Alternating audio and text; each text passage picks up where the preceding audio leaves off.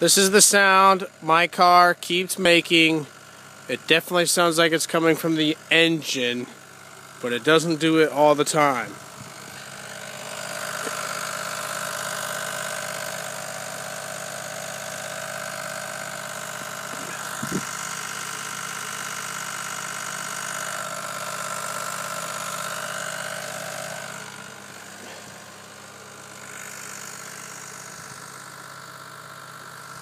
I don't know if that's a uh, lifter, something's loose inside the engine.